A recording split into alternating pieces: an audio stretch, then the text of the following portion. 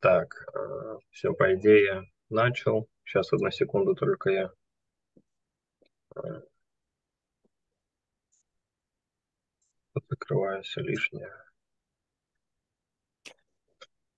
Так, ну я начну тогда так э, небольшое вступление, представление нашего первого гостя в нашей рубрике. В принципе, мы с Владом уже более-менее, так сказать, в, в интернете виртуально знакомы уже продолжительное время. А, познакомились, я помню, как-то тоже случайно. Был похожий стиль торговли.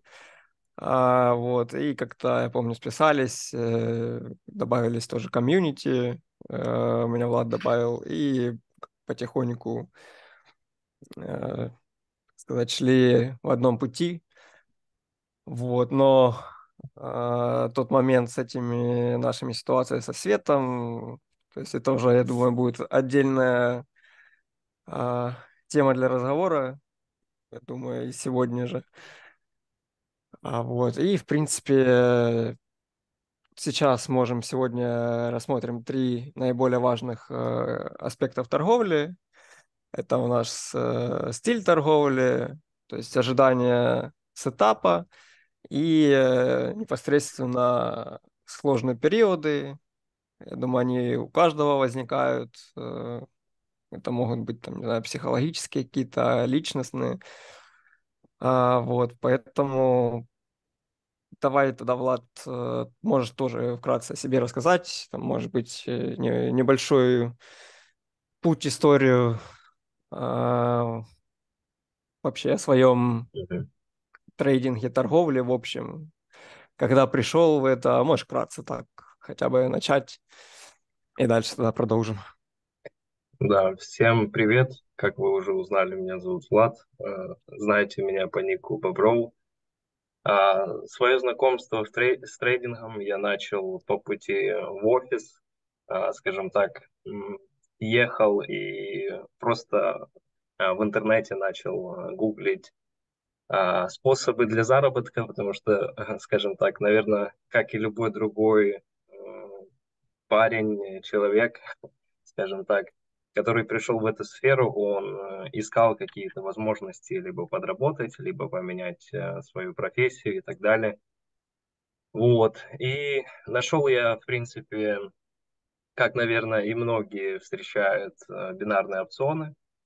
А, конечно же, сразу подумал, что это золотая жила. Вот, очень сильно мою уверенность э, в этом направлении также подкрепил а, мой друг, а, с которым мы вместе работали. Скажем так, я в тот же день пришел в офис, это был 18 год, и он посмотрел на чарты, э, на статьи, которые я читаю, и сказал, вау, это что, бинарные опционы? Э, я тоже, э, скажем так, это учил, давайте вместе. Вот, и так мы вместе с ним загорелись и начали изучать все это направление. Несколько месяцев мы в это все верили. А я скажу, даже были моменты, когда мы где-то с ним сидели в кафешке и так далее, разбирали это все, к нам подходили тоже молодые ребята и говорили, это откровенно типа развод, что вы делаете. А, мы, в свою очередь, были довольно-таки упертые, как и, в принципе, наверное, все а, начинающие парни, а, максимально, скажем так, настроены получить максимальный результат. Вот. Э, не верили, не слышали ничего. Потом все-таки начало все скрываться, что это все развод. Скажу в свое а, оправдание, что когда я это изучал, то я изучал это какого-то там а, бородатенького дяденьки, который очень уверенно наваливал за эти бинарные опционы, а то, в каком формате это сейчас происходит, это просто даже смешно, там, зайдя в какой-то ТикТок, эфир и так далее, ну, боже, этих людей даже противно слушать, они просто два слова связать не могут, и все равно очень многие ребята в это все верят. Вот, э, так что тогда, в то время, был более-менее взрослый человек, который нормально разговаривает, поэтому провелся. Вот, дальше, слава богу, я это все откинул и постепенно начал изучать фондовый рынок. А, тут сразу скажу а, наперед, осуждаю, потому что это были фьючерсы на московской бирже, а, биржа ММВБ. Да, пацаны, осуждаю полностью. Просто причина была в том, это был 19 год, уже начинался, да. Причина была в том, что были очень низкие комиссии там а, в сравнении с американским рынком. Вот. А что такое Форекс на тот момент я не знал. А, и, наверное, если и знал, то думал, что это какой-то развод, потому что очень много историй слышал а, со всеми этими конторами. Вот. Начал торговать там, начал учить э, систему ВСА плюс Вайков. Идея основная заключалась в том, что там volume spread analysis, то есть соотносился объем с Я какой... тебя перебью по поводу интересный просто вопрос по ВСА. Это случайно не CryptoMentors были?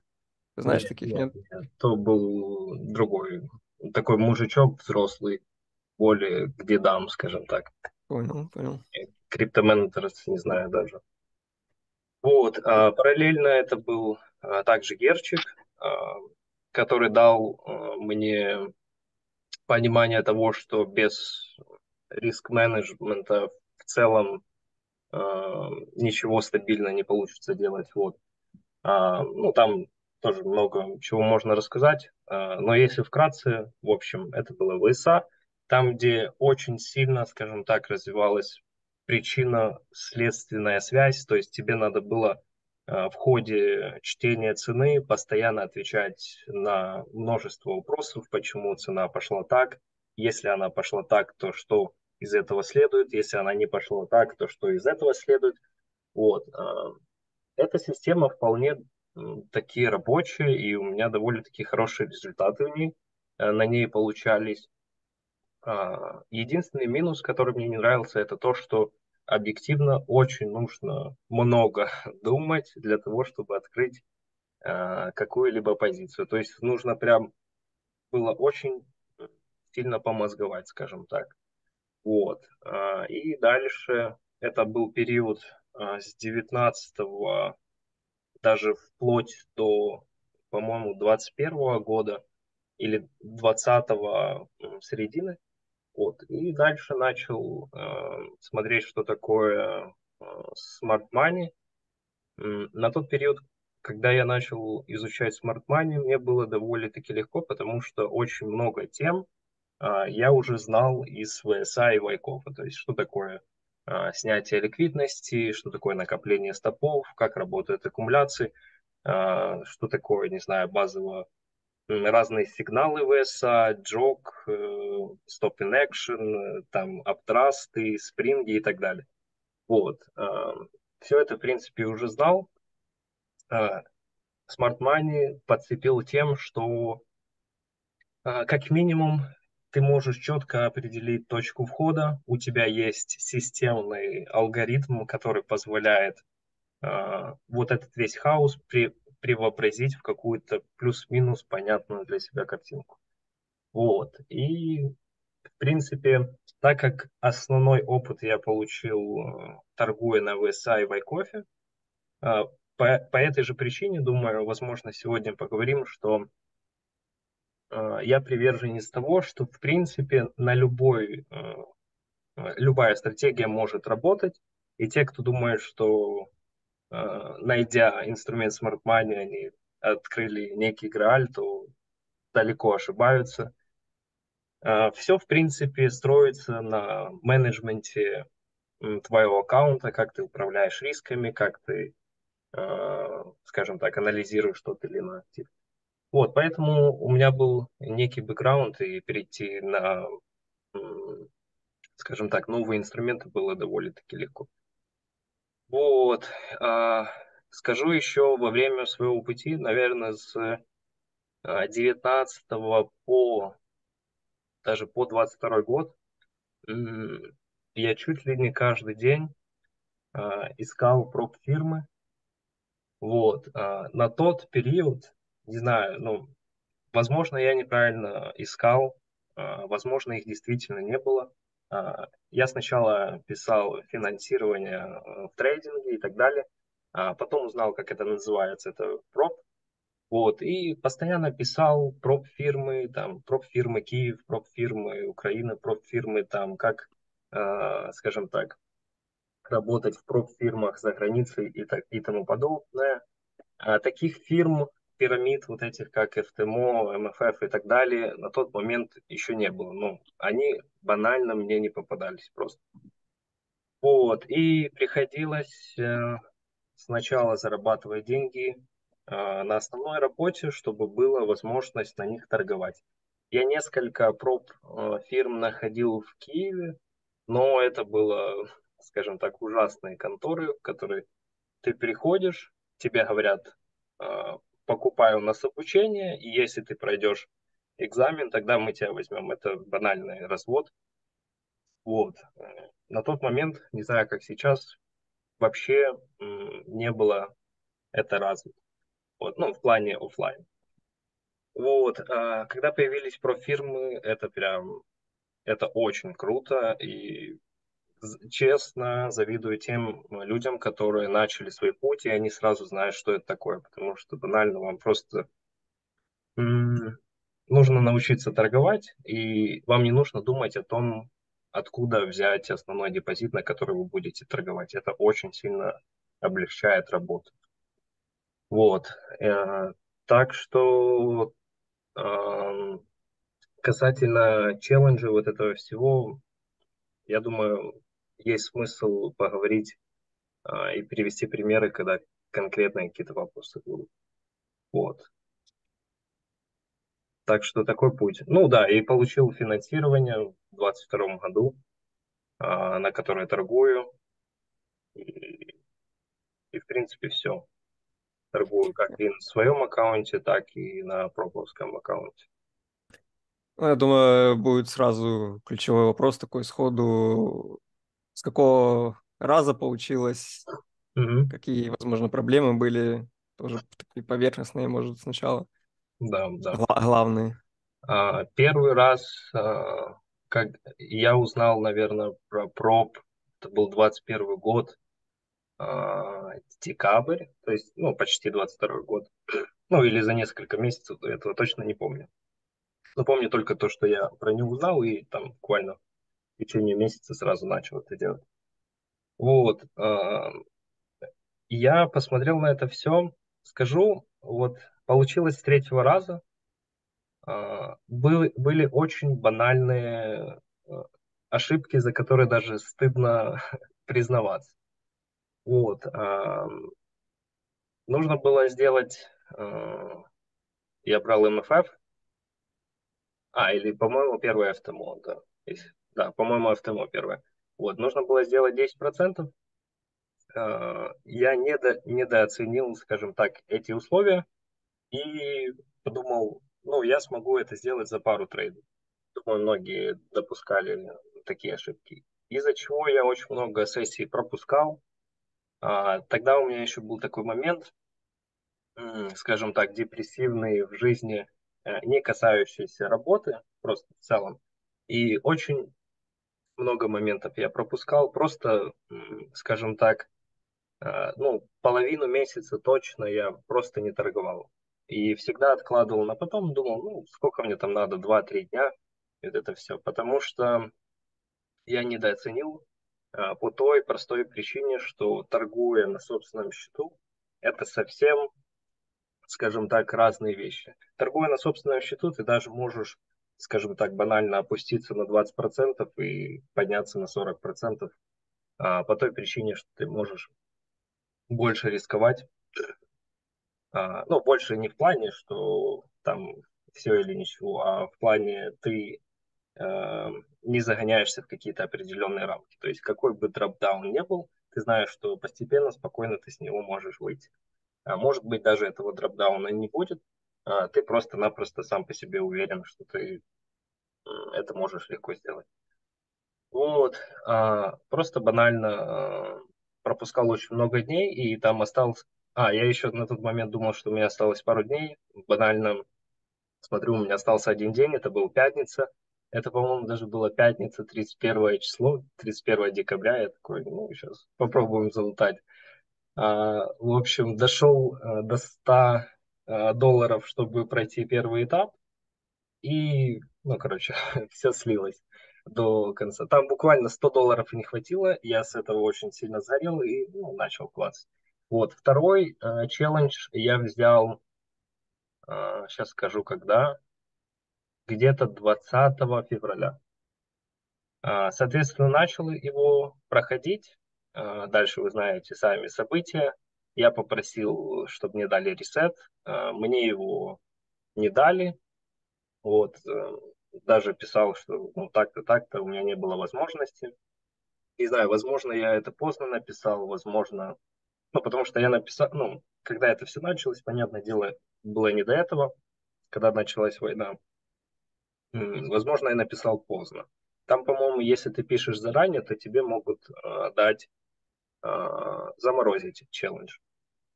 Да, они там на паузу бывают, ставят их.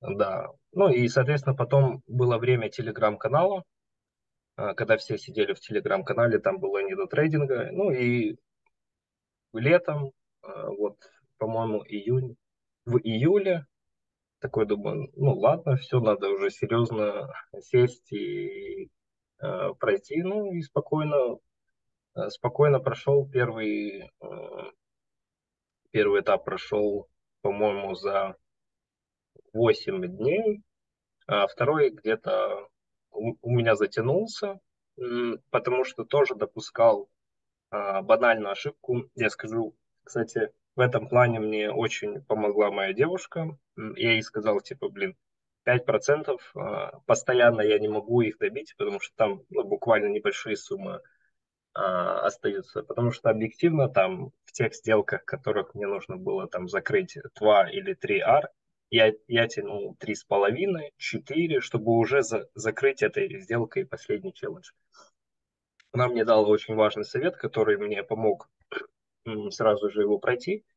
Это то, что не думай о цели, просто делай то, что тебе нужно делать. То есть это очень э, большое... Ой, подождите, там Брайсон отключился.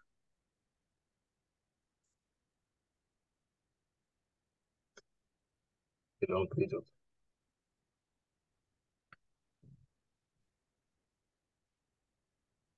Выбило, может. А, все, вижу.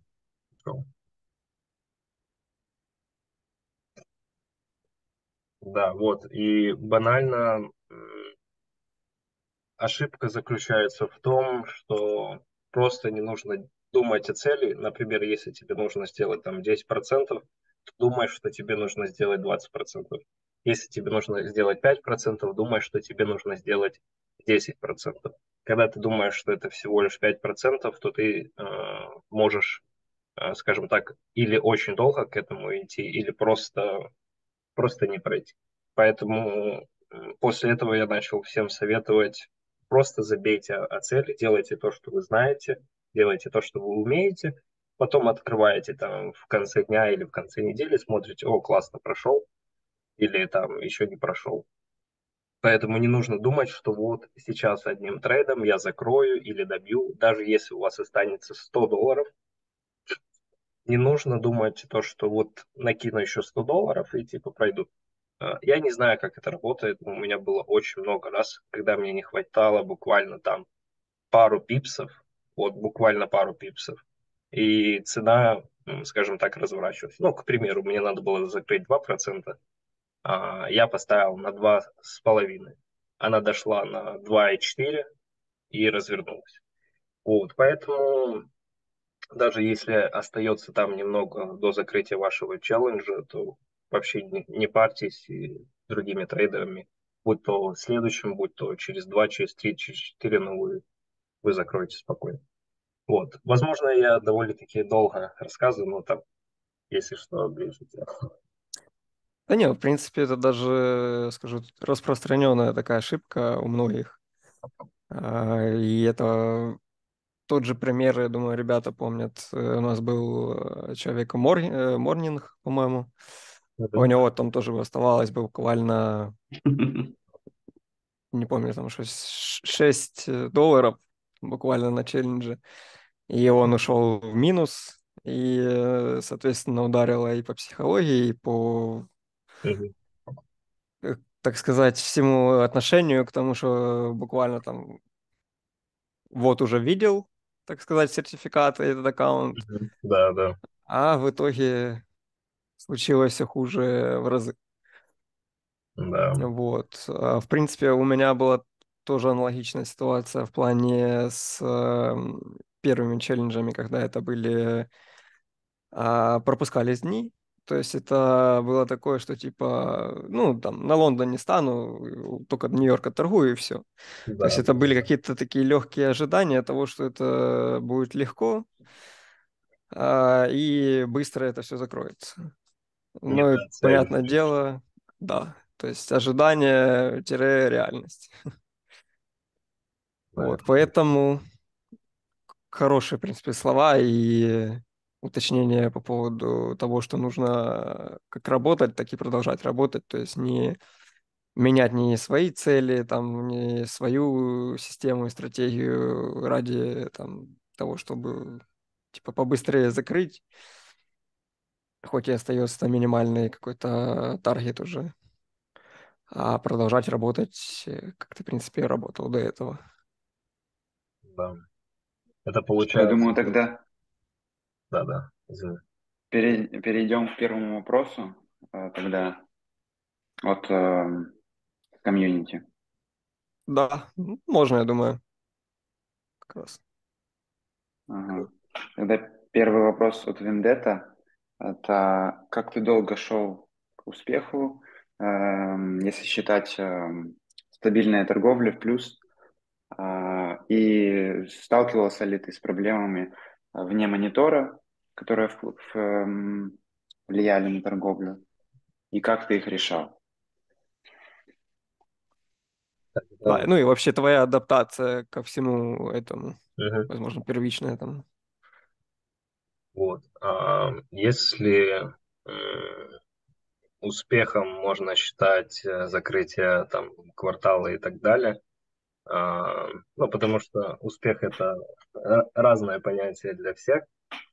Вот. А, скажем так, когда стабильно получалось э, закрывать э, месяца в плюс и на протяжении длительного периода, то это еще начало получаться когда я использовал VSA и Айкофа. Вот. А самый тяжелый момент, а, вот чисто как с проблемами поза монитором, а, самый тяжелый момент это когда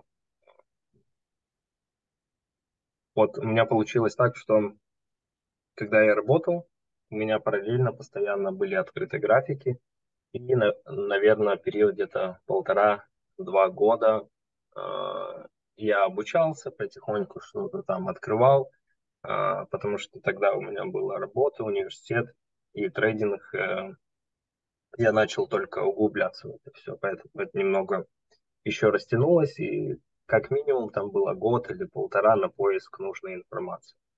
Вот, и когда я начал смотреть, как у меня получается закрывать э, месяца плюс, мне начала нравиться прибыль, я наперед уже начал считать, что так, уйду с работы, сколько я буду зарабатывать, туда-сюда.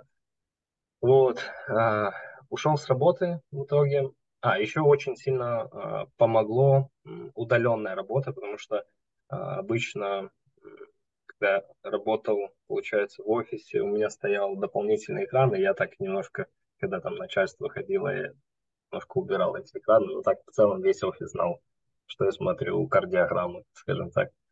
Вот. И самый тяжелый момент был, когда я ушел с работы и начал торговать. Э, там какое-то время было, получалось, и потом резко все пошло на спад. А, я на тот момент не понимал и, наверное, не умел правильно выходить э, с таких ситуаций. Я не понимал просто, почему алгоритм, скажем так, начинает давать сбой. А, как мне кажется, это было обусловлено тем, в первую очередь, что я начал ощущать, что трейдинг – это мой основной источник дохода, и начал, а, скажем так, под а, позиции подтягивать, скажем так, весь смысл того, что мне нужно на них зарабатывать. Вот, и это сильно психологически начал давить. А, потом еще помимо торговли э, там тоже были определенные тяжелые периоды, что тоже эмоционально начало сильно давить, и аккаунт начал постепенно уходить в минус. Вот, а, это очень сильно начало психологически давить, это был, пожалуй, самый тяжелый момент, это был, по-моему, 20 год, а, после лета, сентябрь, где-то так. Вот, и как я начал выходить с этой ситуации, я понял, что мне нужно найти дополнительный доход, а, который будет покрывать мои базовые потребности. И таким образом я снижу а, психологическое давление на свою торговлю.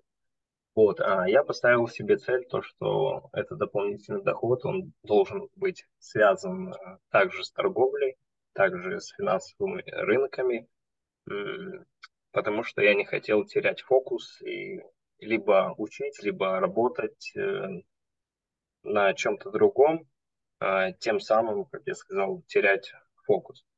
Вот, и таким образом я начал э, вести обзоры для какого-то теле, для какого-то YouTube канала, то есть по моим обзорам они записывали видеоролики, и также начал вести телеграм-канал тоже по крипте, Э, тоже какой-то канал, там было 20 или 30 тысяч подписчиков.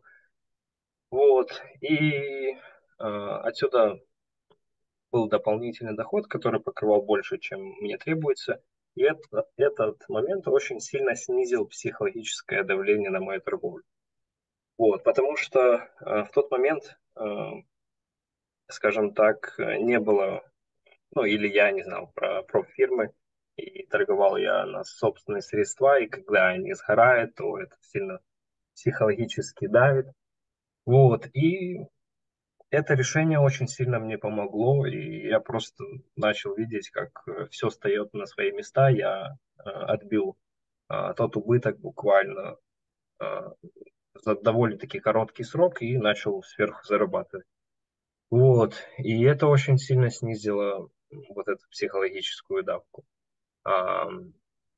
Так что вот, это был самый сложный период, ну и то, как я э, с него вышел.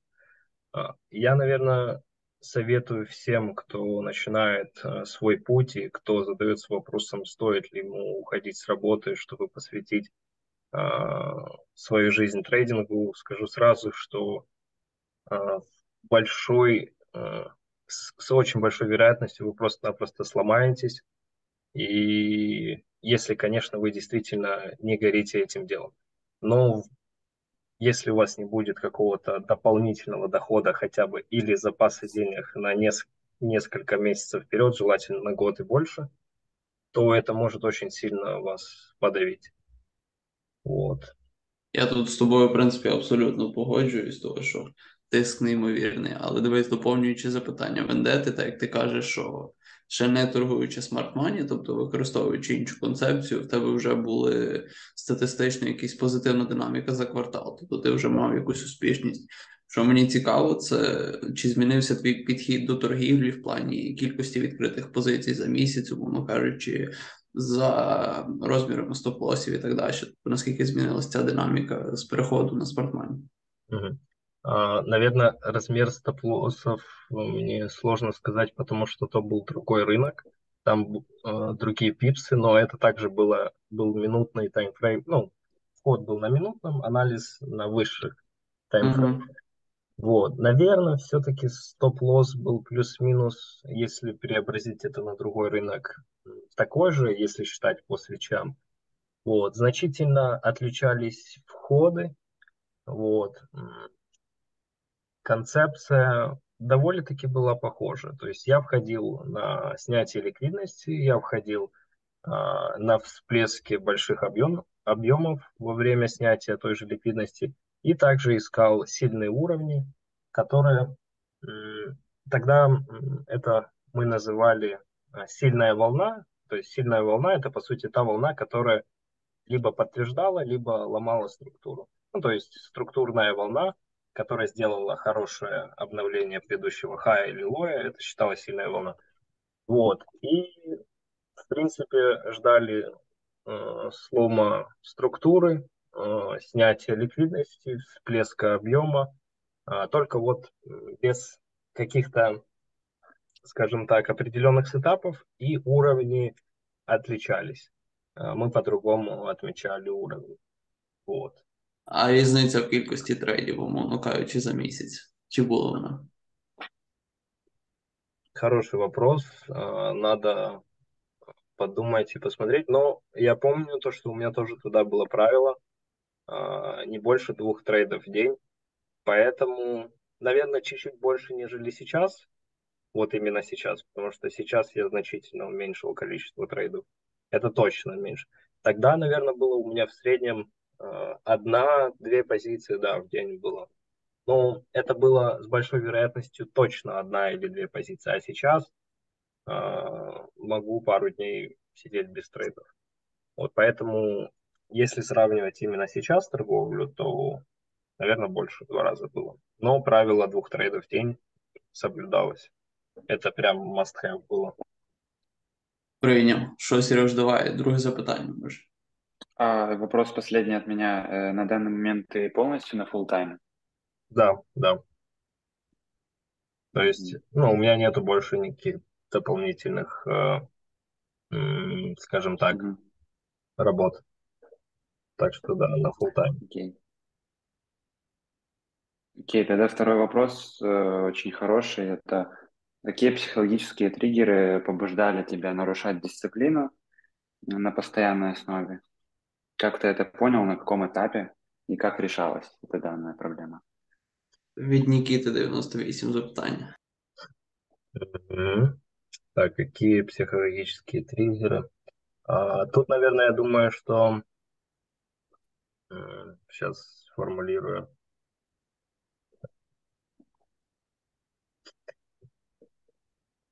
Ну, я думаю, что в основном а, все, что происходит у тебя в жизни, оно напрямую преобразуется в график.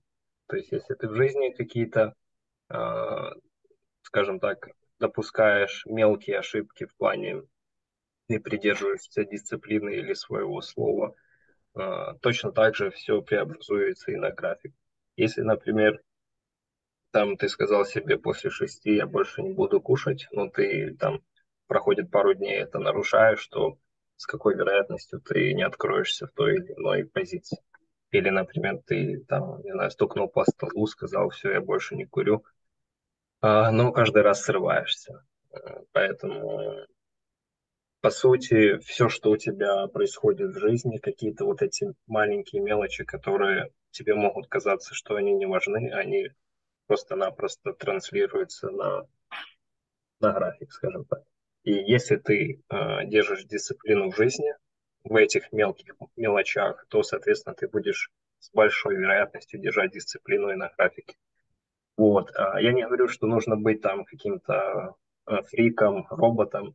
Э, очень важно также отдыхать на выходных, если там, ты чувствуешь полную перезагрузку, там пойти с э, пацанами посидеть кальянной, не знаю, может даже напиться, пойти в клуб, просто отключить голову и провести хорошо время, то это тоже будет хорошо, потому что ты дашь выплеск этим эмоциям, потому что всегда сдержанным, а, каким-то скованным, подавлять вот эти все эмоции в себе, ну, так тоже нельзя. Ты просто-напросто станешь каким-то импотентом, как мне кажется. Вот. А, может быть, это какая-то тренировка, там, да, где, может быть, это спарринги, может быть, это прогулка на природе. Ну, для каждого, скажем так, разный способ высвобождать вот эту энергию, которая у тебя накапливается. Поэтому отдых тут тоже важен. Э, важно уметь правильно отдыхать, получать кайф э, хотя бы один день на выходных. Вот. Ну, желательно там высвободить вот эту злость, которая у тебя накапливается за неделю, и воскресенье потратить на спорт, прогулку, на свежем воздухе и на бэктесты, конечно же. Вот, поэтому думаю, думаю, ответил на вопрос. Я чисто ще від себе добавлю, я ще таку цікаву річ помітив, просто, скажімо так, навколо цієї теми кручачись, дисципліни і так далі. Що коли людина ти наводив приклад цегаретами, приклад з дієтою і так далі, дуже цікавий фактор, того, що коли людина починає рахувати дні, скільки вона днів вже відповідно не здійснювала якусь ту чи іншу дію. Це вона тим більше сам підтверджує, що це рано чи пізно станеться. Тобто, от я вже 70 днів там, умовно кажучи, не курю. Для чого вона рахує? Для того, щоб на 71-й зірватися. Тобто такий цікавий момент, який я помітив, що всі, принаймні, у мене шкідливі звички, яких я покидався, тобто там інтернет е, після 10 і так далі, якісь такі маленькі деталі, то я їх робив просто раптово і забуваючи. Тобто я вже не замічав за собою, скільки днів цього не було. Цього просто для мене нема. І, в принципі, таким чином я позбувався. Просто цікавий аспект про оці от рахування. Кстати, да, полностью согласен. Тоже об, этом не думал, но действительно крутые слова говоришь. Так оно и есть. Да. Давай, Сережа, може, третє запитання. У мене просто не відкритий э, Discord. Окей, тогда от Прады. Что, на твое мнение, стало ключевым фактором, который помог превратиться с трейдера, который торгует в минус, Э, или в ноль э, в профитного трейдера? А, если брать именно ключевой фактор, а, то это умение управлять своим депозитом в плане риск-менеджмента. А, когда я узнал, что такое не больше там какого-то определенного количества трейдов в день, там 2-3, когда я узнал, как правильно поднимать риск на, на своем депозите. То есть Э, как правильно его поднимать и как правильно его, скажем так, снижать во время того, когда у тебя плохо получается торговать, во время того, как у тебя хорошо получается торговать. Ну, просто банальное правило, что быстро а, расти нельзя, то есть быстро поднимать а, риск на сделку нельзя, нужно делать все а, постепенно.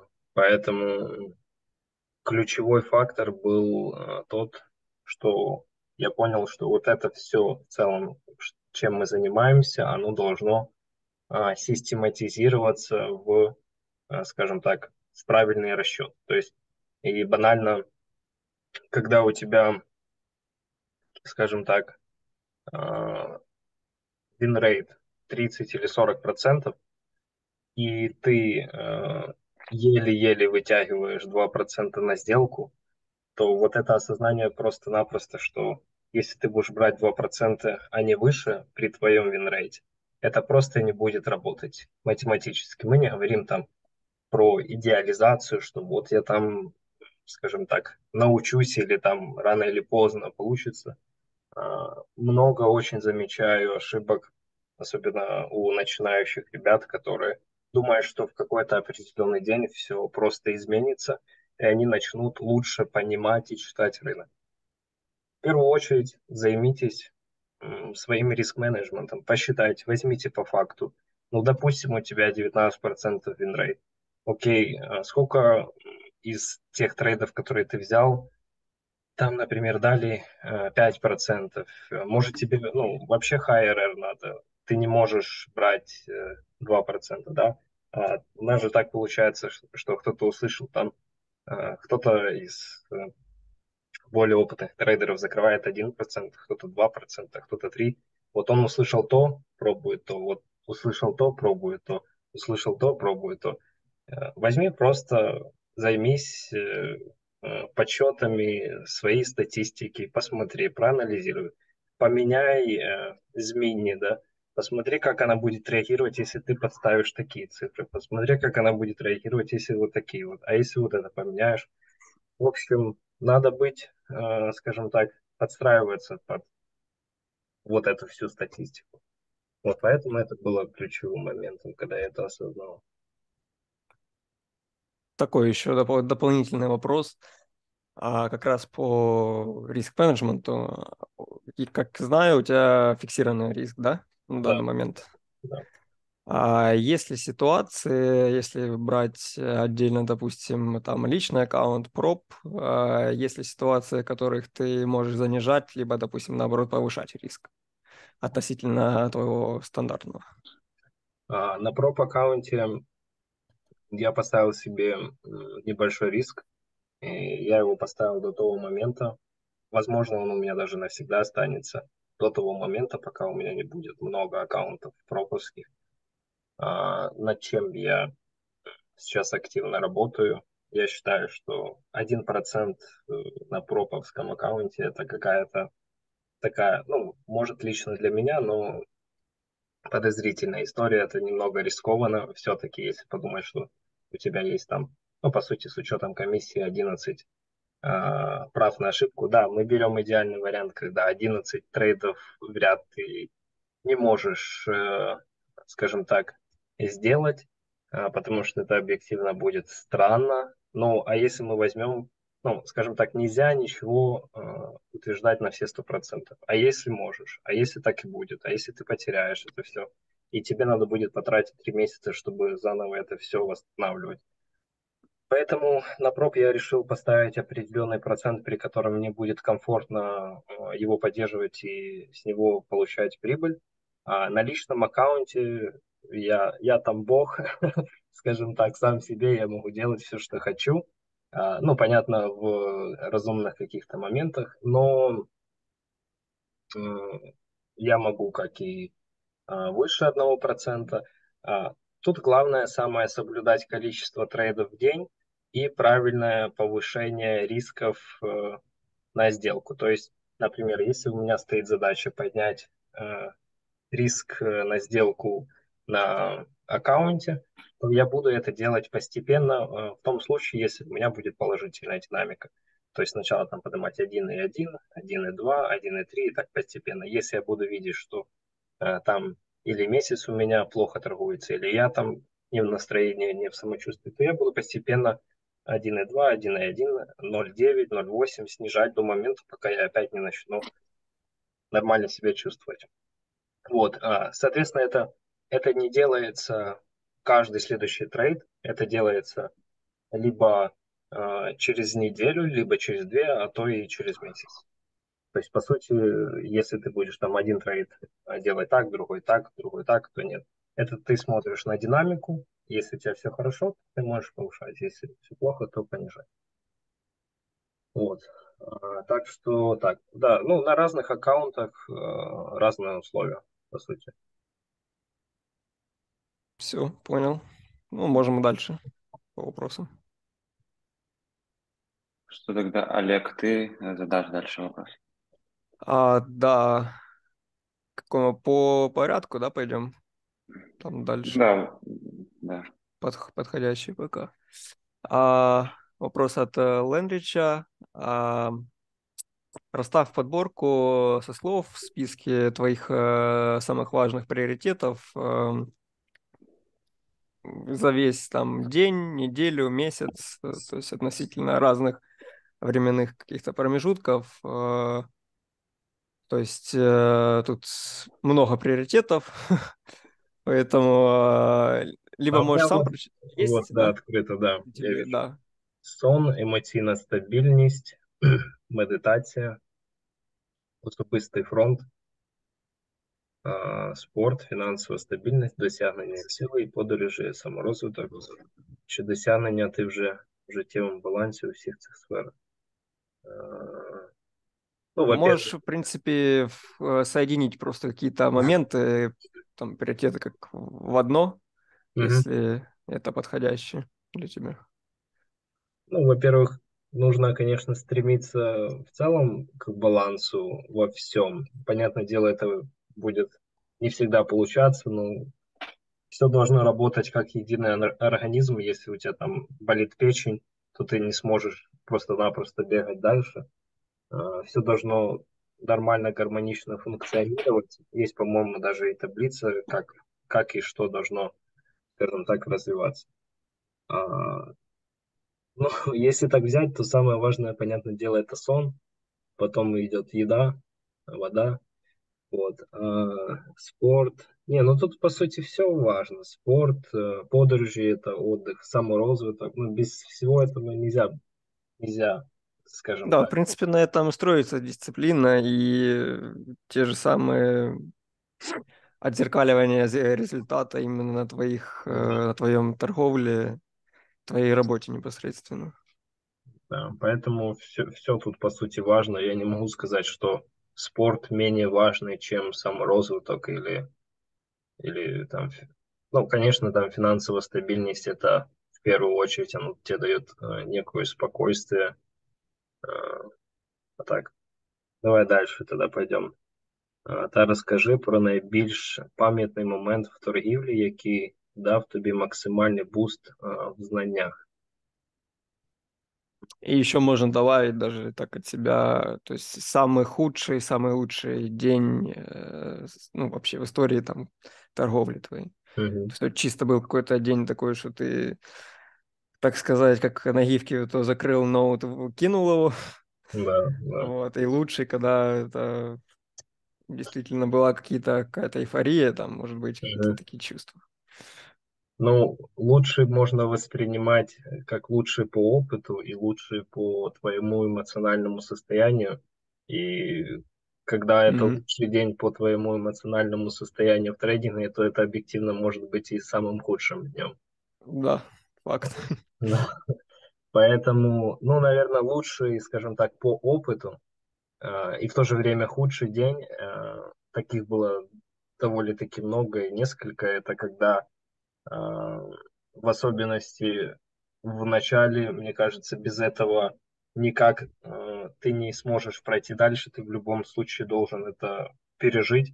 Ты должен пережить эмоции вот этого тильта, ты должен пережить момент, когда ты либо все сливаешь, либо очень сильно опускаешься вниз, а, когда ты что-то теряешь. То есть ты должен это все прочувствовать и посмотреть, какой результат это все, ну, к чему это все приводит. Поэтому, ну, это очень важный опыт. И когда, в особенности начинающий трейдер, это, через это проходит, это реально бесценный опыт, и не нужно его недооценивать, и а, тем более себя как-то обвинять, что вот ты урод, козел, я ненавижу, типа, а еще и меня и бывшая кинула, и вообще, типа, у меня ничего не получается, и так далее, и вот это все разгоняется. Нет, это реально крутой опыт, просто главное, как ты к нему отнесешься. Если он а, загорит в тебе вот этот вот огонек, и у тебя вот эта вот, а, скажем так, злая мотивация даст тебе boost к тому, что ты будешь больше бэктестить, ты будешь больше анализировать, а, больше а, читать, развиваться и так далее, то это, блин, это реально круто, и без этого, в принципе, никак. Поэтому, поэтому это реально классный опыт, и не нужно его бояться. Дуже класна відповідь, тому що я тут з тобою максимально згоден. Я, в принципі, коли в Keystone Charles прийшов, мені в цьому плані дуже інфер імпонував, тому що людина там може пропасти на тиждень, ну, умовно кажучи, пропасти, тобто не торгувати іменно активно тиждень через якісь там особисті знаєш, питання і так далі, тому що там життя воно таке, багато що треба вирішувати, багато чим, чим окрім трейдингу, треба займатися, щоб сам трейдинг був успішний, а потім одного понеділка в сьомій ранку людина пише добрий ранок, в восьмій ранку закриває 6 р, і потім далі ще тиждень займається своїми справами. Тобто Да, был такой момент. в цьому плані унікально дуже унікальний дуже приклад, і я кажу, я, я деколи поражаюся на такій здібності. М. Ну, тоже не без ошибок, как говорится, но есть тоже всегда над чем работать, и а, в любом случае то, к чему я пришел, и, в принципе, еще, как я говорю, есть над чем работать, э, в любом случае это уже какой-то прогресс для меня и непосредственно вообще в торговле и в моей работе. З- Даже, даже, отнош- даже больше как отношение к этому. Да, сорі, нас- наступне запитання від Фесенко. Тоді я зачитаю на російською вопрос касательно сезонності, декабрь, январь. э, всегда такие стрёмные месяцы, когда много кто ловит дополнительную порцию стопов и начинает из-за этого накрывать. И есть еще какие-то неприятные сезоны, и потом вопрос касательно психологии. Давай, наверное, сначала Давай, давай. Чтобы мы Да, особенно часто, как любят даже говорят, не то, что стрёмное, типа все про секшн, типа плохой, он э, там херовый и все остальное. Так, То и- есть э, можно даже разобрать так. э, В какой-то момент некоторые, исходя из своего результата, там, да, стопов, там, порции стопов, Мгм. начинают винить э, даже не себя, а чисто говорят, что там все, прайс экшен плохой. Да. А в какой момент, э, ну, в принципе, разобрать, как ты видишь это. Мгм. Так, кстати, по сути, мы э, подходим к теме стрима, что э, сложные периоды в торговле, да, получается. А, ну, да, можно и тоже туда кинуть. Да. А, Лично по собственному опыту, честно, а, помимо как слов других людей про сезонность, я ничего такого не замечал. А, Объективно бывают действительно тяжелые месяца, но типа, что это будет точно там декабрь, август, э, еще там может быть какие-то месяца. Ну, так точно нельзя сказать, потому что там банально, э, к примеру, прошлый, ну, вот этот декабрь, который был, он был очень крутой. Там январь может быть очень тяжелым.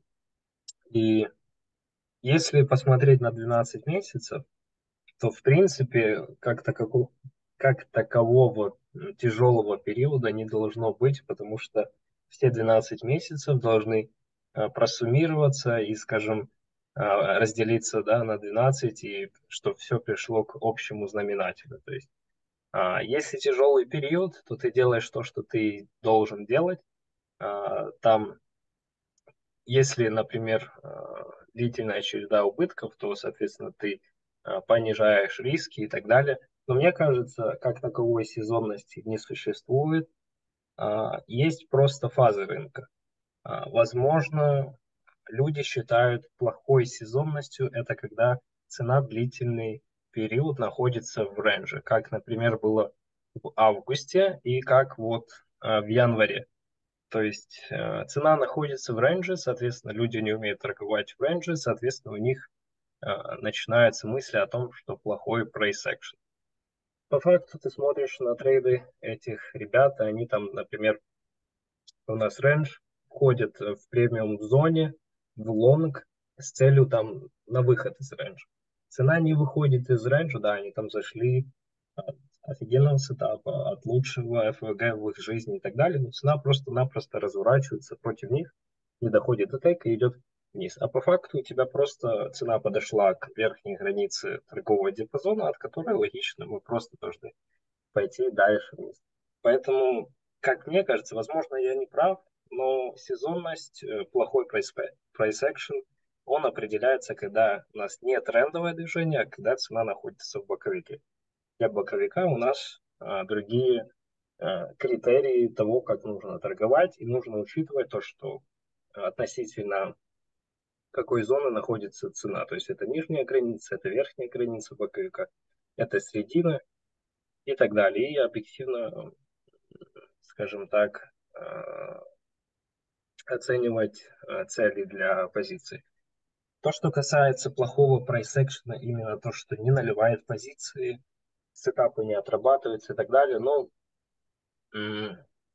сетапы, по сути, они и по факту и не должны прям вам отрабатываться на все сто процентов. Могут быть месяца, где все сетапы наливаются, все сетапы отлично отрабатываются. Могут быть месяца, где сетапы либо не наливаются, либо стопятся. Для этого нужно правильно определять зону своего стоп-лосса. Нужно понимать, что такое стоп-лосс. Стоп-лосс – это то, когда та идея, которой ты следуешь, полностью отменяется, и ты оказываешься неправ. Если стоп-лосс – это там просто цена за сетапом, без какого-то, скажем так, логического объяснения, почему оно там должно быть, то оно, в принципе, не должно отрабатываться. Да, понятно, что статистикой можно вывести, потому что в любом случае у нас сфера отличается от тех же ставок и казино. А, статистика можно много чего увидеть. Вот, а, поэтому нужно просто делать и поднимать свое дело. И, например, в моменте мне казалось, когда я торговал в августе, что был плохой price action в августе. Я так подумал, посмотрел. А, потом, по-моему, в сентябре я детально просмотрел этот месяц и просто заметил, что банально а, я был, а, возможно, недостаточно внимателен или недостаточно там плотно работал. Возможно, то пришло на период, что я был в жизни занят и так далее, но типа объективно нормальный месяц. Вот этот январь, да, вижу у многих тяжелый, в том а, и в том числе и у меня были тяжелые дни. А, вот, э, в том плане, что там или не наливало, или там что-то пропускалось. Ну вот лично у меня, например, январь начал с того, что я просто упускал а, все классные трейды. Вот просто там чуть-чуть долго подумал, trade ушел, там отвернулся, trade ушел, там, не знаю, а, еще что-то сделал, trade ушел без меня. А, я это объясняю тем, что я был там в отпуске, и, возможно, немножко рассеялось внимание, плюс еще там какие-то дополнительные факторы и так далее. Но я отношусь к этому вполне нормально, и э, ну, самая главная суть это то, как вы относитесь к, к тяжелым периодам. Но, в принципе, как таковых тяжелых периодов они только в вашей, по сути, голове. Ну что такое, тяжелый период, это когда не наливают позиции, да, они вам, ну, и не должны наливаться. Мы просто как вот эти рыбки прилипалы прилипаем к большим акулам, которые двигают рынок. Вот, поэтому, ну, типа, объективно надо принимать это как должное, этому следовать. Вот, как-то так. Окей, хороший ответ. Тогда, может быть, э, следующий вопрос больше ты зачитаешь, чтобы не тратить время мне. Да, давай. Вопрос касательно психології. Э, так вийшло, що більш-менш... Ну, то, в принципі, розібрав, я думаю, це якраз запитання, ти їх поєднав якимось чином. Я не знаю, як в тебе це вийшло, але ти об'єднав його два запитання. А, да? А що там в двох словах було? Ну, є проблема не на графіці. Дальше? А, ну ладно, хорошо. Я думаю, было бы прикольно, там, если вы будете монтировать этот видосик, а, то как-то выдвигать эти вопросы. А, ну, было бы удобно просто. Вот. Да, я думаю, что придумаем какой-то такой, чтобы оно было сразу понятно, или кто-то мог сразу переключиться на этот момент. Да, да. Интересно, пройдя сквозь эмоциональные трамплины, неудачи и уйму потраченного времени, ты достиг своего, но если бы тебе пришлось выбрать Э, то, чему бы ты отдал предпочтение, трейдинг ради жизни или жизнь ради трейдинга? А, ну, по-любому трейдинг ради жизни. Тут я, наверное, спрошу у вас, как вы считаете? Трейдинг ради жизни или жизнь ради трейдинга? У нас э, в комьюнити был один, то есть есть один э, экземпляр, который который, скорее всего, второго у него «Жизнь ради трейдинга». Это даже, да, это, наверное, такой статус у него. Есть еще, наверное, разные понятия, типа жизнь ради трейдинга или жизнь ради твиттера там в трейдинге или в комьюнити, показать, как ты трейдишь. У некоторых тоже есть такая жизнь. Это да. да. Ні, однозначно, що е, трейдинг заради життя, тому що я думаю, що такою професією, як трейдинг, можна займатися там продовжувальний період, але рано чи пізно все-таки треба її покинути, тому що воно багато що залежить від голови, і голова з кожним, скажімо так, віком краще працювати не стає, того треба якісь побічні інвестиції, я думаю, так само розглядати. Я думаю, що тут план, в принципі, всіх однаковий назбирати капітал і щось не то, що безпечніше, а менш ризиковане прийти. Я думаю, що тут багато хто зі мною погодиться. Ну, это как, как один из примеров там переход на свинг торговлю. Да. там, относительно Да. недели, месяца и так далее. Мне кажется, жизнь ради трейдинга это относится к азартным людям. Те, которые любят ставки, которые там... Ну, потому что жизнь ради трейдинга, Но новости поторговать. Да, вот что такое. Так что идем дальше. А, Что, можно, в принципе, там, где конкретно меня спрашивают, я отвечу, а вот там другие вопросы вы можете сказать свое мнение первоочередно. И было бы интересно послушать тоже. Давай. Так, тогда я зачитываю, вот тут два еще осталось конкретно ко мне, а на те вы ответите, а я там, если что, дополню. Так, Бобров, как проходит твой день? Поделись своей торговой стратегией или советами, как э, создать, как, как создал ты, э, пришел к той, э, которая дает тебе лично стабильный профит. Сколько времени понадобилось, чтобы прийти туда, где ты есть сейчас? Ха- А, тут разные вопросы. Хорошо. э, Как я создавал свою торговую стратегию? А, Ну, объективно, наверное, как и э, многие другие, очень-очень много тестил. То есть, э, ну, делаешь очень большую базу данных, э, тестов и так далее. Вот, э, я, в принципе, довольно-таки много э, сделал э, тестов для там, своей торговой стратегии, например, но все равно считаю, что этого еще недостаточно и буду делать еще, еще и еще больше.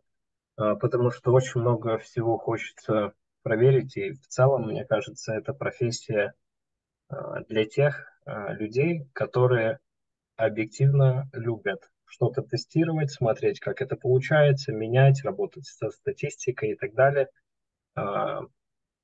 Часто бывает ошибка в том, что люди думают, что трейдинг заключается только в самой торговле.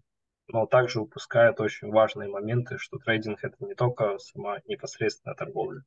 Трейдинг это работа с э, большим объемом данных, а, это работа в первую очередь над собой и так далее, поэтому там помимо самой непосредственно торговли довольно-таки много работы. И я про это уже когда-то говорил, что те люди, которые думают, что э, они там только торгуют, немножко сделали там какой-то статистики и так далее, и этого будет достаточно, то подумайте, сколько э, миллионов людей думают точно так же. И ответьте себе на вопрос, а достаточно ли вы делаете того, чтобы там, например, считаться трейдером, и достаточно вы делаете того, чтобы быть э, банально лучше там других в этой сфере. Поэтому.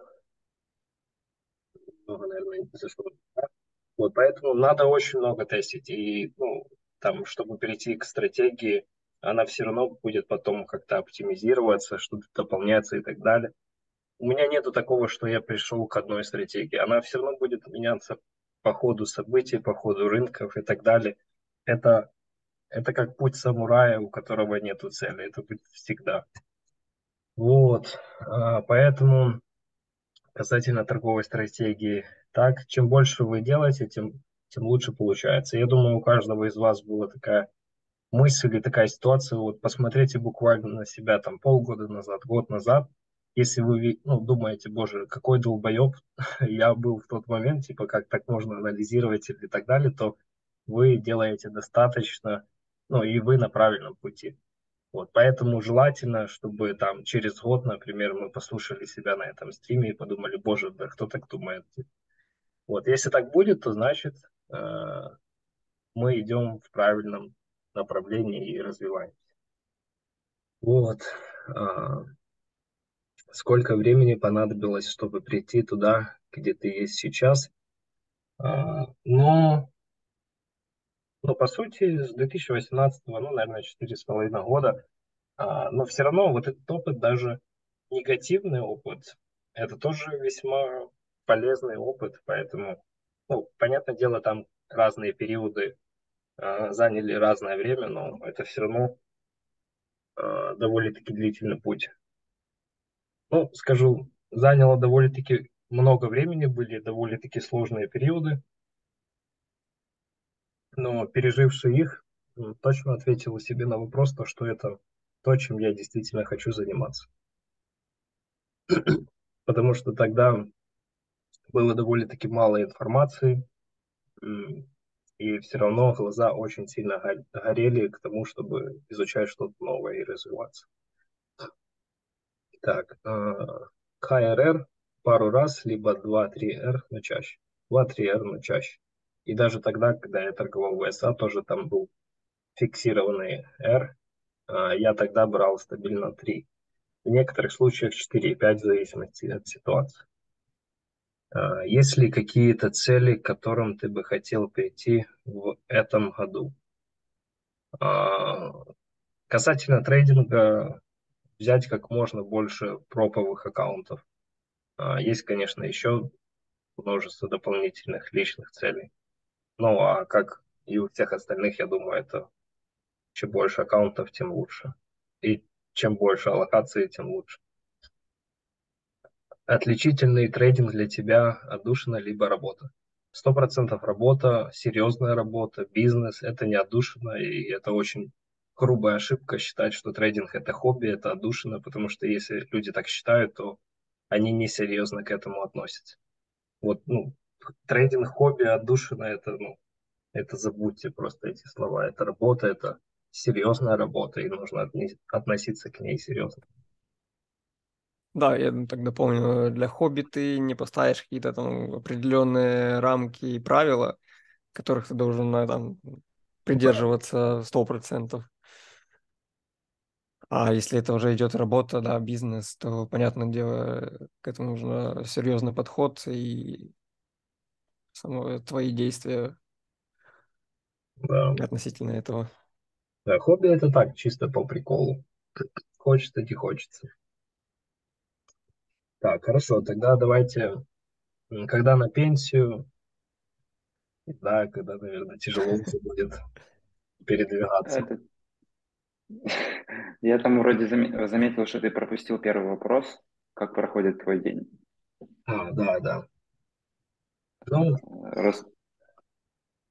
утро банально, как и у всех. А, ну, я встаю в 8, вставать в 5-6 рано мне тяжело.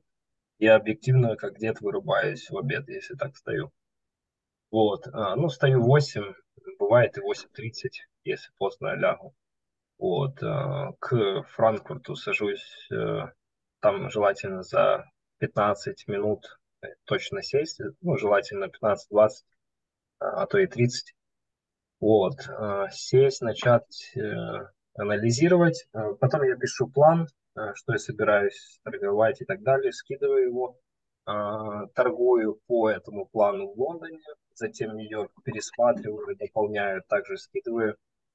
И затем записываю все трейды в статистику. Я могу это делать в этот же день, могу делать это там в пятницу или на выходных, в зависимости от того, занят я или нет. Ну, желательно за неделю записать точно все трейды в статистику, прописать эмо- эмоциональную часть и так далее, ну, вести дневник. А, вот, скажем так. Потом а, либо иду в зал, а, если не иду в зал, то занимаюсь дейли рекапом. Если иду в зал, то после зала. Вот, записываю это тоже очень важная часть. Записываю все возможные трейды, которые были за день. А, записываю их. Вот. И в 10 вечера иду бегать. Вот. И все по новой повторяем. В принципе, как-то так проходит день.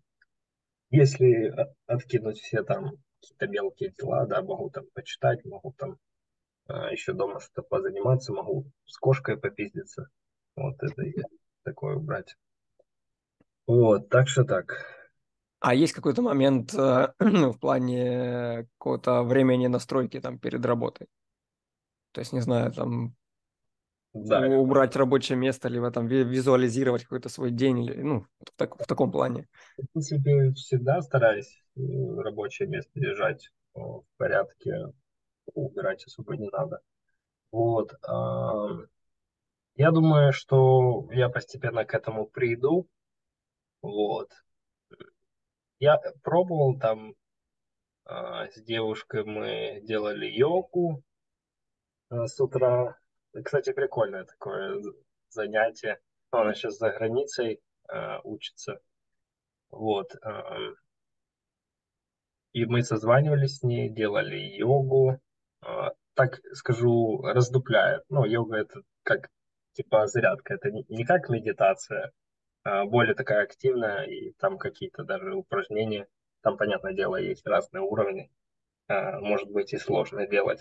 Вот. А какая-то, наверное, разминка, заминка и так далее, это прикольно, да, оно лучше раздупляет. А, но пока что, к сожалению, часто бывает такое, что просыпаюсь, там, кофеек или позавтракаю и сажусь.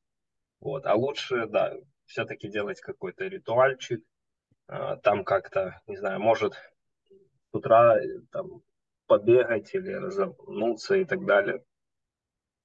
Пока что этого нет, но я уверен, что по-любому стабильно добавлю это в свой режим.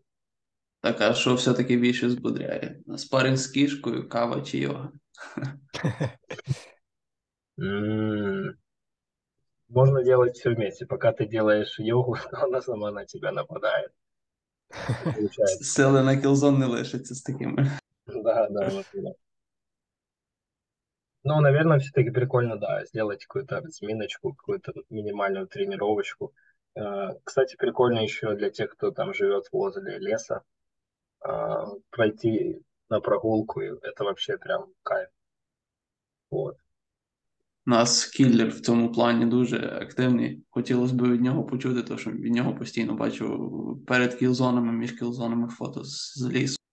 Mm. Да, мне повезло в том плане, что у меня лес рядом. Mm-hmm. Я хожу с, недавно, с недавнего времени начал до килзоны ходить в лес. А, а когда не хожу до килзоны, ну это редко, то mm-hmm. вне, вне килзоны хожу. Я а, вообще есть, это бомба. Сори, что перебиваю, так дополнил. Да. Я сам э, раньше жил возле леса, но сейчас он там перекрыт. Э, то тоже ходил с собаками. Вообще, это просто голова очень сильно очищается. И пожив Договор... дальше... Да, говорится, да, да. А, да, что свежий воздух помогает для всего, особенно в лесу. Да, вот именно свежий воздух в лесу очень сильно отличается от того, что ты там пойдешь даже в парке. Ну вот лес это прям... Ну да. Это, это вау, это классно. Там ты как-то... Кстати, еще такой момент. Когда вам очень эмоционально плохо, там в целом очень плохо вы себя чувствуете и вообще там как-то, не знаю, упали духом и так далее. Мне лично очень помогало, когда я ходил в лес с собаками, голос разговаривать сам с собой. Так ты, получается, свои мысли, которые у тебя крутятся в голове, ты как-то наружу выкидываешь, и те проблемы, которые у тебя есть, они как-то уже не такие уж и серьезные, не такие уж тяжелые. То есть все в целом тебе начинает казаться решаемым. И вот это реально какое-то такое упражнение, которое очень сильно мне помогало множество раз. Понятное дело, когда ты там по городу будешь идти и разговаривать сам с собой, то ты типа думаешь, у тебя какая-то шизофрения, а от у лісу топчик це делать. Ти про цей голос згадав, воно дійсно якось таким чином працює, що воно на природі якось вільніше, якось без обмежень ти себе не фільтруючи і даєш волю думкам, скажімо так. Я я навіть скажу, що для мене це настільки важливий аспект, іменно ця от прогулка в моєму випадку між кілзонами, то що в мене по суті кілзона в сьомій ранку стартує, тому мені до кілзони, в принципі, не дуже навіть комфортно прогулюватися, але от в мене воно настільки важливим стало аспектом, що буквально з цього року я ввів собі е, правило, буквально в торгову стратегію прописав, що в мене час між кілзонами, між Лондоном і Нью-Йорком проводиться якраз на вулиці. Uh-huh. Тож у мене є в мене є під боком ліс, так що є можливість якраз випустити думкам дати волю. Это круто, да. У нас тоже один э, парень ходит в зальчик между килзонами. Спускает там свою злость, наверное. Ну а то, что в 7 утра у тебя килзона начинается, я тебе искренне не завидую. Ти знаєш, мені навпаки в кайф того, що, умовно кажучи, в ідеальному варіанті ти не стоп, а take profit отримуєш в Лондоні. В тебе, по суті, з 12-ї години дня вже виконаний daily review, вже виконаний daily target, і ти, по суті, з опівдня ти вже маєш час до вечора суто на себе. От, у випадку якраз професійного трейдинга це все ідеально. Тобто фінансове питання в тебе закрито, і ти роби, що хочеш. Ну да, в принципе, если привыкнуть, то вообще круто. Так, ну что, давайте тогда зачитайте, кто там следующие вопросы. Тут дуже таке якраз е, складне питання від Андрюши. Е, Як вибратися з петлі? Е, Не могу постоянно додерживаться дисциплин, из- из-за чего не вижу результата в погоне за каким нарушаю правила. Как научиться ждать хорошего входа, а не заходить в позицию раньше времени? И важна ли адаптация в, оче- в обществе или неком окружении для торговли? Думаю, що що на цьому зупинимося. Так что давайте вы тогда ответите, я дополню.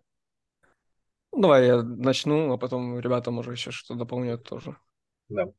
А, так, чисто как я думаю, то есть скажу э, там по первому вопросу из замкнутого круга, то есть в любом случае как минимум нужно попробовать сосредоточиться а, на какой-то, вероятно, общей картинке, то есть поставить перед собой там четкие цели, а, установить правила относительно там этих целей, какого-то видения картинки этой всей, то есть и придерживаться этому всего, даже если там будет э, трудно, либо даже чересчур трудно. Мгм. Вот. По поводу входов, э, то есть э, тут единственное, что это набраться терпения, то есть терпение, тем более в нашей работе, это одно из э, главных аспектов, как по мне. А, то есть не нужно гнаться за рынком, э, не нужно там за, залетать в последнее движение, как говорится, последний какой-то там вагон.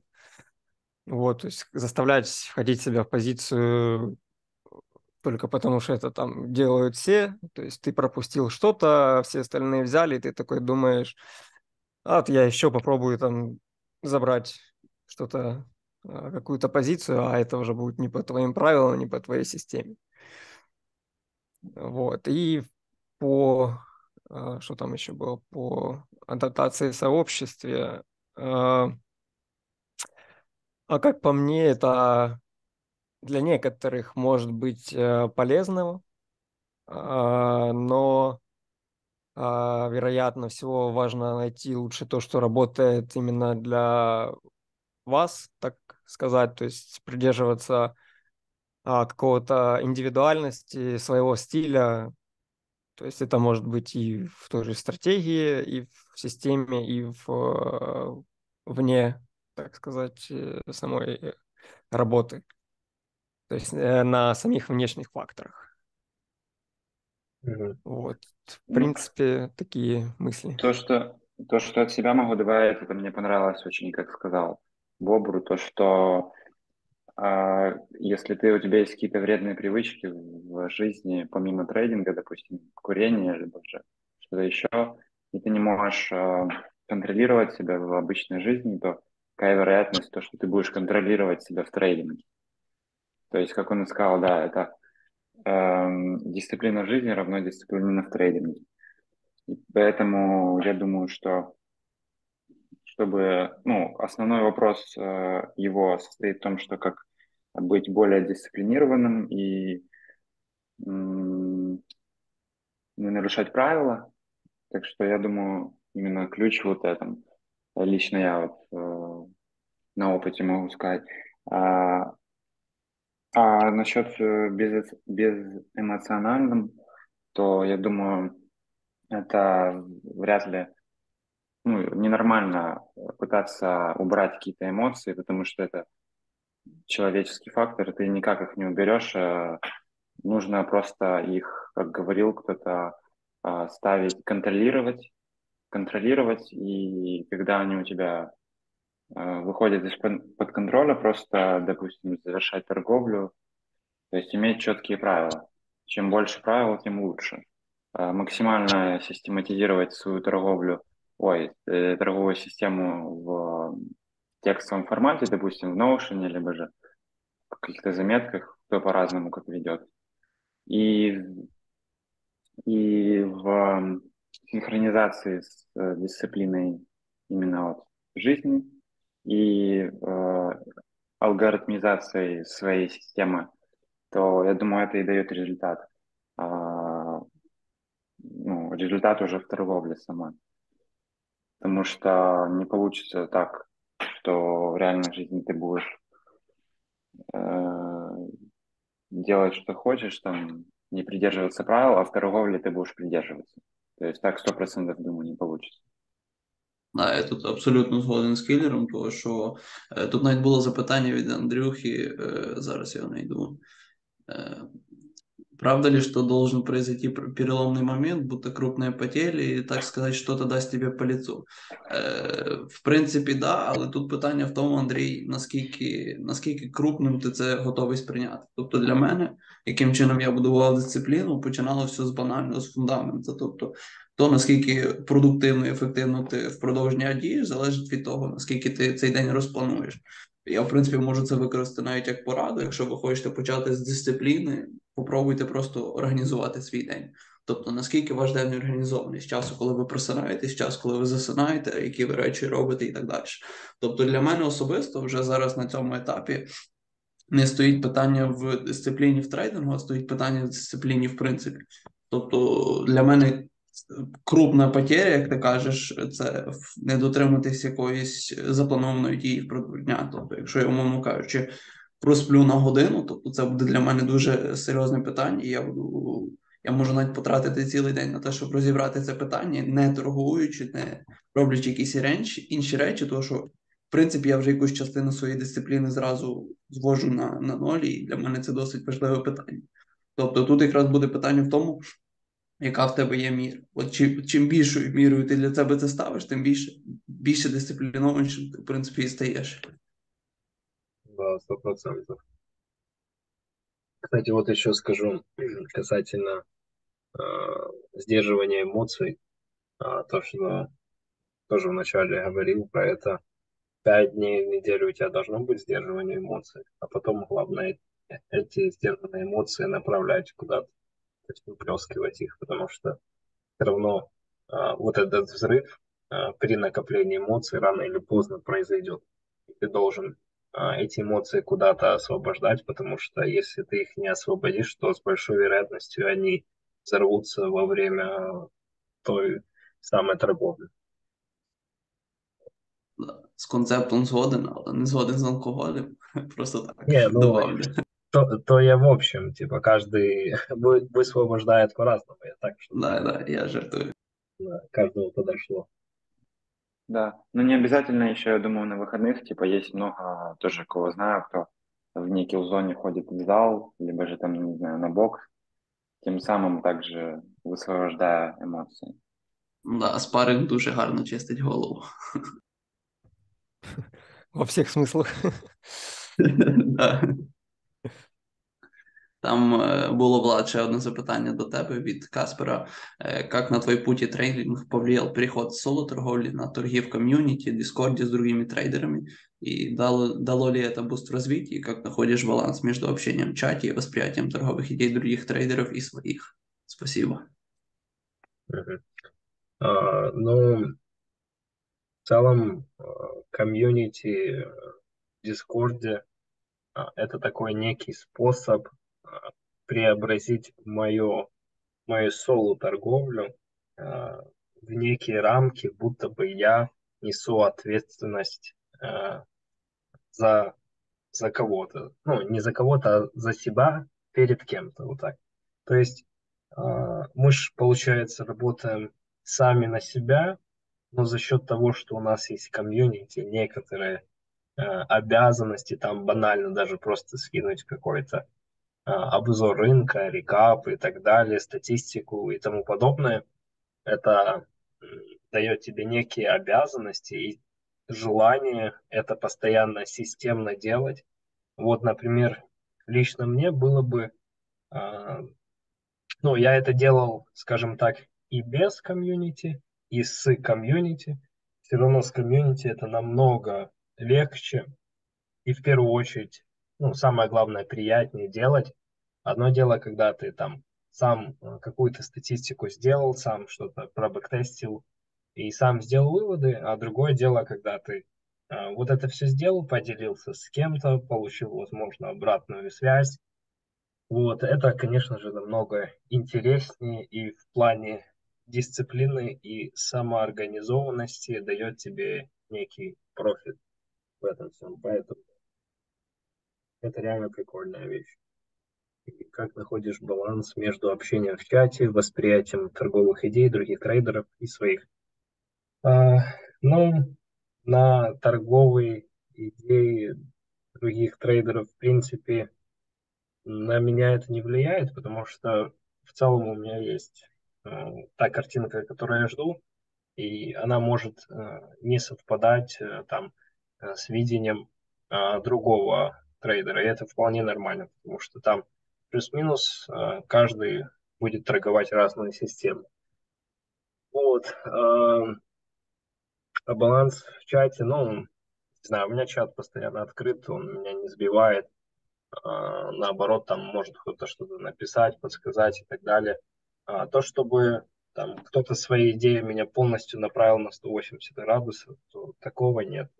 Наоборот, типа какой-то профит. Кто-то там сказал, что вот посмотри на ту ситуацию, ты посмотрел на эту ситуацию, там, да, она тебе подходит, о, классно, типа, спасибо, что сказал. Нет, она тебе не подходит, там, возможно, ты кому-то что-то подсказал.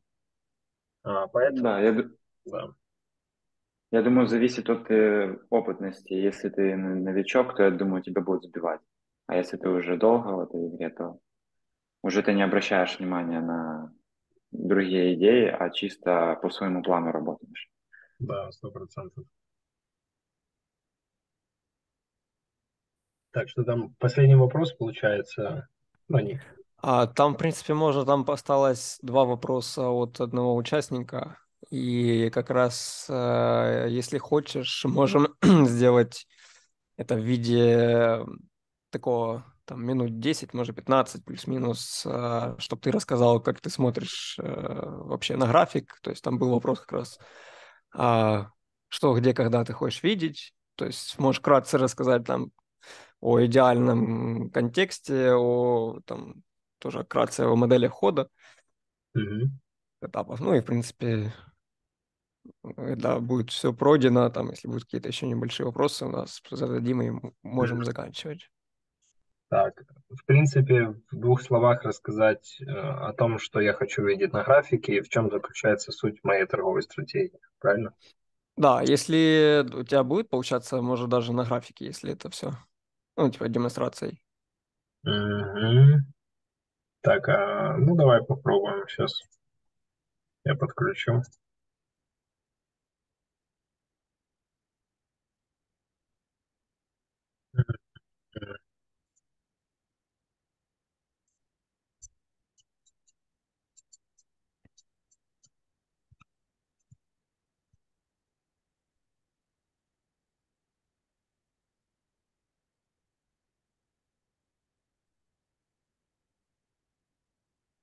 Да, все видно. Нормально вроде.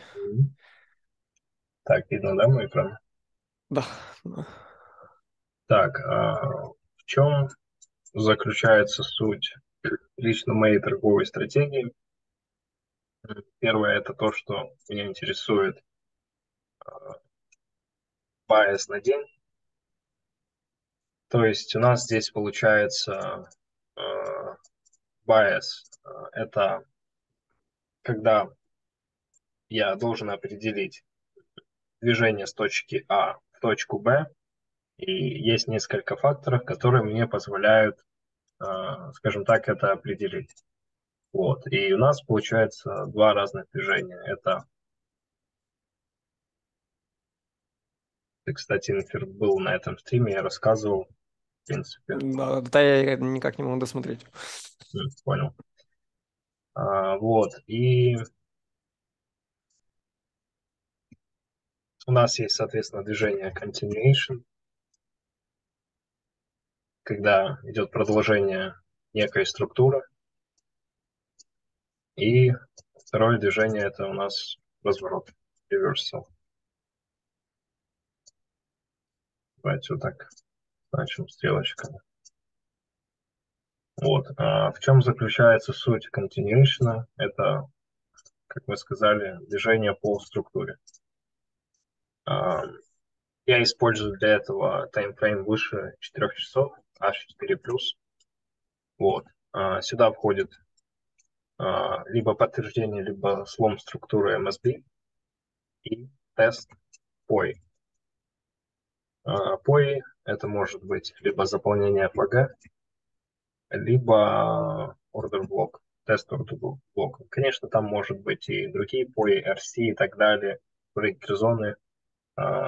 Ставлю банальную, которая чаще всего отрабатывается. Вот.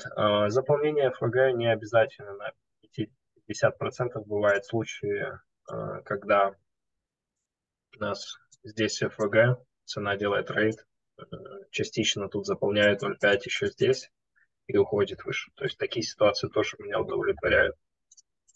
Вот. А дальше реверсал. Условия для реверсала это также таймфрейм H4+. Это рейд, либо потенциальный рейд. Желательно, не всегда так бывает, но если этот рейд находится в POI, то это будет только плюсом. POI также это может быть FVG, либо другая, э, любая POI в зависимости от ширины, которая мне необходима. Вот, а здесь на этом этапе я беру от 4 часов, а, выбираю таймфрейм, который более, а, скажем так, будет актуальным для меня, соответственно, а, отдаю предпочтение большему таймфрейму, начинаю с D1, H12, H4 и определяю вот эти вот факторы. Определяю, либо в этот день мы будем продолжать трендовое движение, либо мы будем разворачиваться.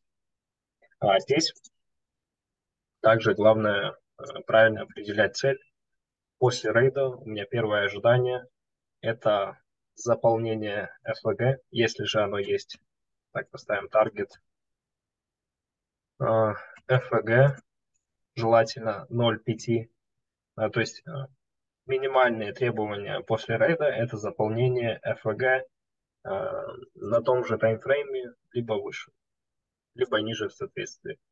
Ну, то есть 4 часа это минимальный, 4 часа, 12 и D1. Думаю, суть понятна. Вот. И либо FTA, если это какой-то чистый нетестированный уровень, либо фрактальный high или low, если у меня нет FVG. Fractal high, low.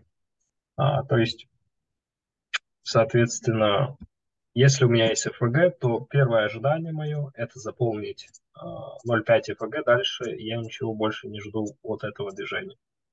То есть, например, у нас есть, а, ну, там, допустим, вот, вот так, рейд, вот этот рейд. Вот здесь у нас основной фрактал. После этого рейда меня интересует именно заполнение данного FVG. Вот. То есть я не буду ждать sweep low, sweep high, потому что минимальное требование от данного движения выполнено, а дальше уже будет либо разворот, либо мы пойдем дальше вверх. Меня интересует именно забрать вот это вот движение, которое максимально для меня понятное. Вот. А дальше также основная, основной момент в моей торговой стратегии – это конфирм. Это идет H1 конфирм. Думаю, вы могли видеть у меня в бэктестах, как я это использую. H1 конфирм. Э, это может быть, когда H1 у меня уже находится в синхроне со старшей идеей. Сейчас объясню. Sync with KTF. То есть, к примеру, я определяю, что у меня движение с точки А в точку Б. Вот, а тут MSB H4, то есть у меня логическое ожидание, что мы должны перейти к этому таргету. И в данном движении у меня H1 также лонговая. То есть у меня здесь не было никакого слома структуры H1. Тогда у меня H1 находится в синхроне с H4, либо выше таймфреймом. И, соответственно, тест вот этой кои я могу подбирать спокойно. А, вот. Следующий момент. Это когда у меня H1 не в синхроне с старшим таймфреймом. Тут я буду ждать MSB H1, соответственно, и тест POI H1. То есть тут также FVG. А, ну, тут может быть FVG, uh, order block и breaker зона. Часто я отмечаю breaker зону, чтобы просто захватить и FVG, и order block. То есть, ну, по ширине просто подходит. Вот, это та ситуация, когда у меня есть основной мой HTF bias здесь. И я вижу то, что у меня H1 начинает двигаться по нисходящей структуре. Здесь мне интересно, то есть по какому из сценариев мы пойдем. То есть мы можем просто продолжить свое падение по нисходящему движению, либо же у нас это движение отработается. По этой причине я жду синхронизацию вот этого движения, то есть H1 с H4 плюс таймфреймом. То есть дожидаюсь слома, и вот этот вот, вот эту зону мне интересно подбирать. Вот, то есть у меня H1 находится в синхроне. И сейчас доходим к третьему типу подтверждения. Это H1 рейд, либо же потенциальный рейд. Вот, то есть у меня может быть три, по сути, H1 подтверждения, когда цена уже по факту находится в синхроне, когда у меня H1 разворачивается и когда у меня H1 делает рейд. Все то же самое, э, как и здесь, соответственно,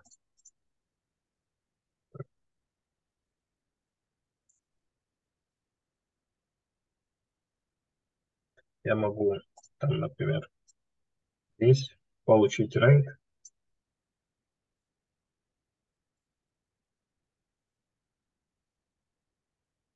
H1. И это будет у меня подтверждение.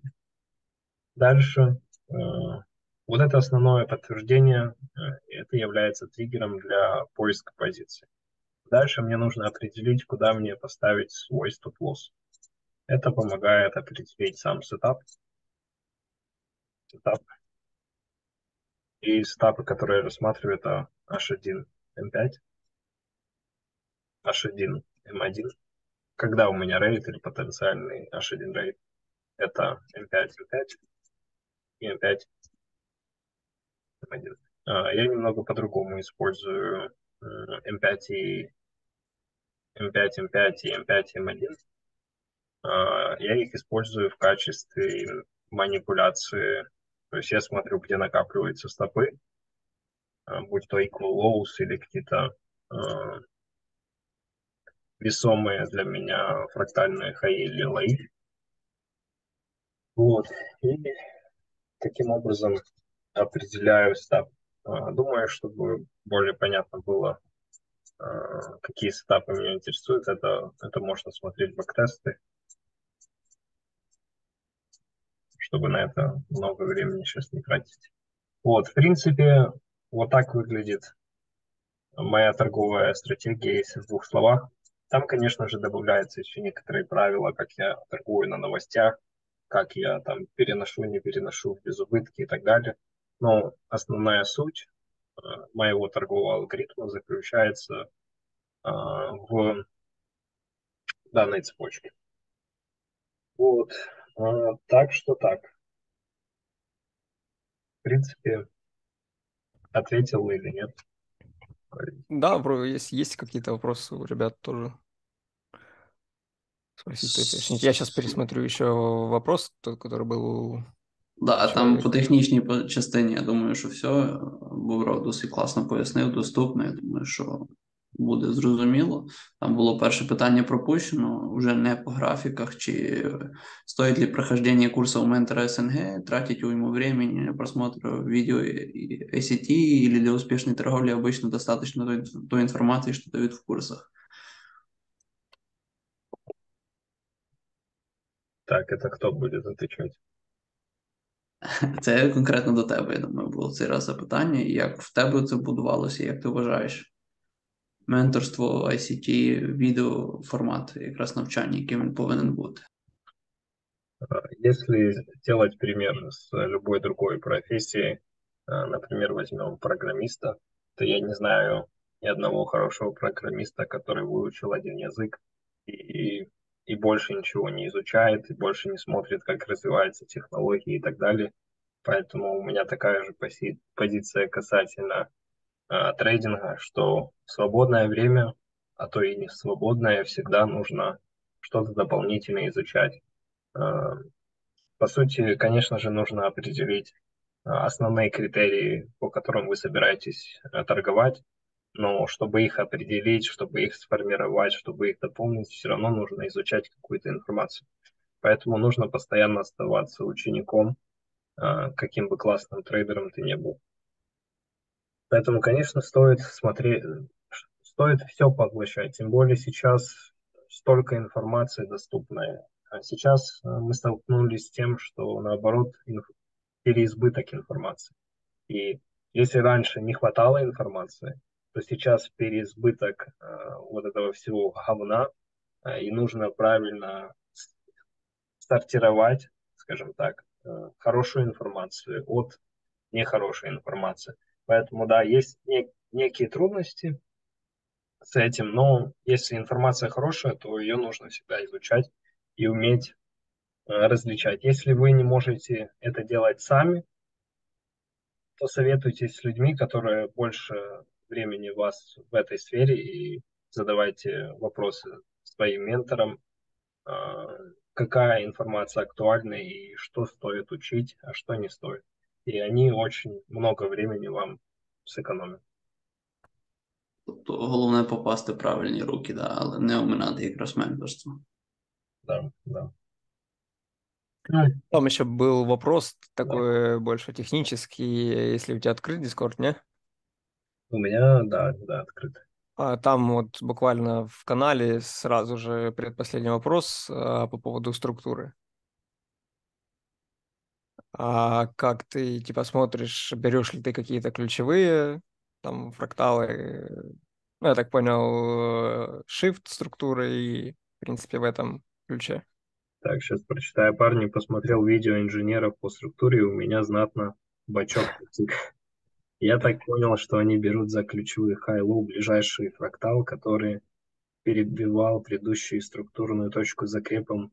Может быть, э, будет время затронуть вопрос структуры в сегодняшнем видео. Если нет, может быть, завтра кто-то сможет помочь мне раздуплиться к этому вопросу заранее.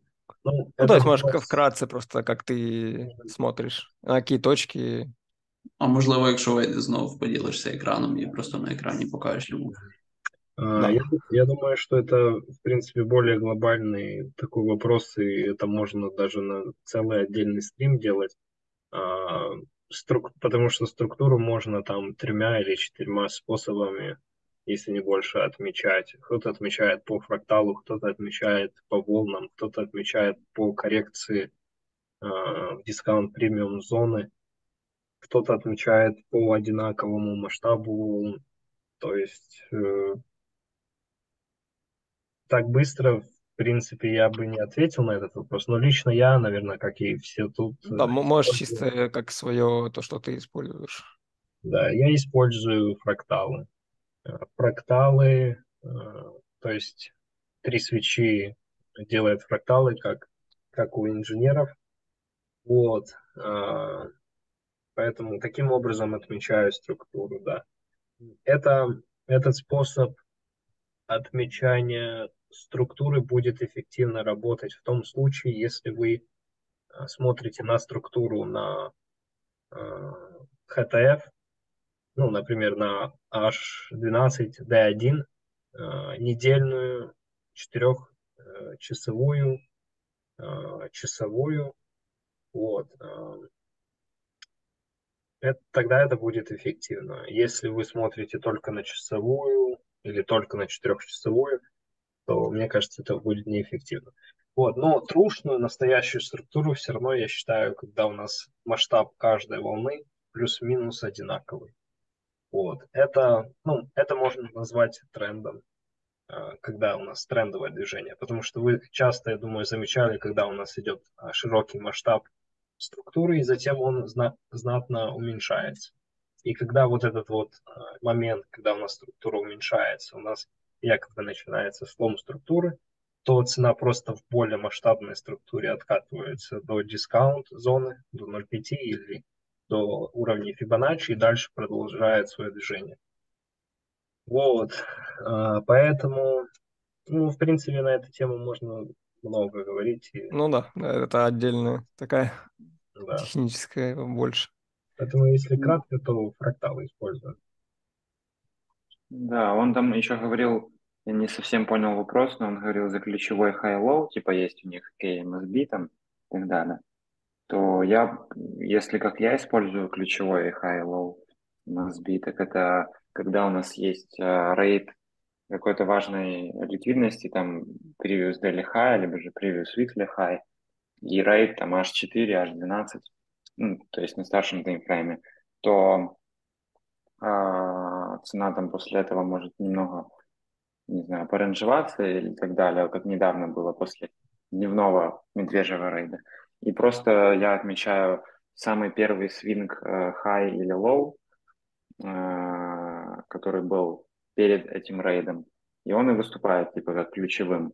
То есть если мы делаем рейд его, а не ломаем структуру, то это признаки то, что мы продолжим движение вверх и нужно работать по структуре. Если же мы уже как закрепляемся свечой, то уже как рассматривать как, э, да, есть, ну, как MSB, синхронизировать с структурой, то есть с order flow э, локальным.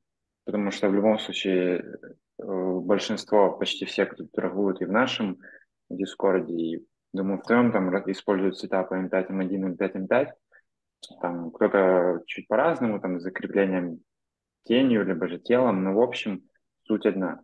Я думаю, мало кто ловит reversal ы прям такие э, большого order flow setup ом таким мелким. М1, М1. Ну да, либо же М5, М1. Ну, М1, М1 я лично не торгую. Не знаю. А так, в общем, как-то так. Угу. Так, а в общем... Да-да, я тебя перебил. Не, в принципе, я закончил. Я еще просто смотрю, что он на скрины отправил свои, именно примеры структуры. А, так что, в принципе, структуру, там, где он обычную структуру обозначает красным цветом, а, красным, то, в принципе, у него ну, правильно все. А там, где черным, то не совсем понимаю. Я думаю, это уже будет проще разобраться у вас там внутри. Ну да, непосредственно уже. Это же все-таки подкаст, это про попиздеть, а не про... Да, именно. Кстати говоря, э, какой тебе вопрос больше всего зашел? От кого? От кого? А, это надо подумать. Я думаю, может, э, стоит не мне ответить, а после того, как вы посмотрите, а, ну, когда смонтируете вот это все, чтобы а, участники вашего Дискорда определили, какой вопрос а, дал им максимальное количество инсайтов, скажем так, какой был самым полезным. Вот. Ну, я думаю, що Вони і так обговорюють, то що там після подкасту, я думаю, буде така нормальна активність. Все-таки хочеться, щоб ти якось так суб'єктивно оцінив, яке, яке запитання тобі найскладніше було, або яке заставило подумати з тих всіх, і у нас просто буде невеликий приз для найцікавішого запитання, то попросимо тебе як першого гостя вибрати. Угу. Хорошо, тогда сейчас подумаю. Да, відкрий, якщо маєш список запитань, передивися. Так, первый. Ну, а, ну если- там был, кстати, самый главный вопрос, который не был озвучен. Е, Кілін дуже, дуже уловко його опустив, е, спеціально пропустив, я думав, ми, ми його не зачіпимо. Как раз на котором и было больше всего реакций. Да. Не, ну это имба, в натуре. Ну давайте тогда по очереди ответим. У меня объективно брюнеточки One Love. Ну, в принципе, аналогично. Да, плюс, Я думаю, е, это боль- большинство, не знаю, как-то, возможно, мнение так сложилось, но Да. FX у тебя э, этот, азиатки туда?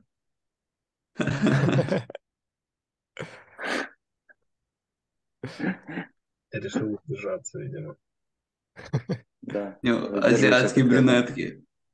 Азиатские брюнетки. возьмем, возьмем микс. Так, сейчас я напомню себе. Так, Вендета спросил, як довго ти йшов до успіху, чи проблеми поза монітором, які впливали на торгівлю, яким чином їх вирішував.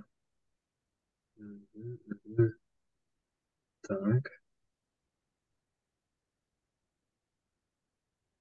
Как выбрать свои спикинги? Ну, наверное, объективно такой самый, как по мне, искренний и такой зместовный а, вопрос был от Андрущака. Как выбраться из петли? Не могу постоянно додерживаться дисциплиной и так далее. Тут именно, как- а, как мне кажется, человек спросил а, о действительных э, проблемах, о наболевшем, о проблемах, которые он не мог э, решить, возможно, какой-то длительный период. Поэтому, наверное, больше всего мне понравился этот вопрос. Мы также его все четвером разжевали. Поэтому, наверное, мой Ну фаворит. да, он и, и по теме был как раз тоже Да, максимально. я тоже согласен, так как я думаю, дисциплина это од- одна из самых главных э, преград, которую, э, которая мешает достигать успешной торговли. Да, процентов.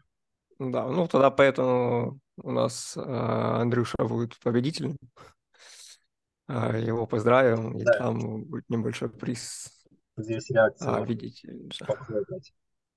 Ну, що, що, що, що поговорити трейдери люблять, я думаю, ми тут вже нормально часу натренділи, того я думаю, Да, да, да. закривати базар і вертатися назад за роботу. Було дуже цікаво, приємно. Дякую Владу за участь. Дякую Інтеру, Кілеру. Було цікаво послухати і всім успішних торгів на наступний тиждень. Да, спасибо большое, что позвали. Было интересно пообщаться. Ага.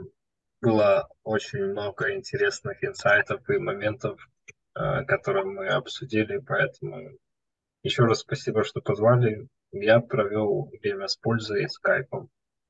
Да, Я думаю, и все, кто будет пересматривать тоже, чтобы подчеркнуть все разные ценные знания, все обсуждения, все, что были здесь сегодня. Поэтому всему Да. только лучшего. Взаимно. Тоді всім дякую, па-па-па-па. Спасибо. Да, спасибо всем тоже.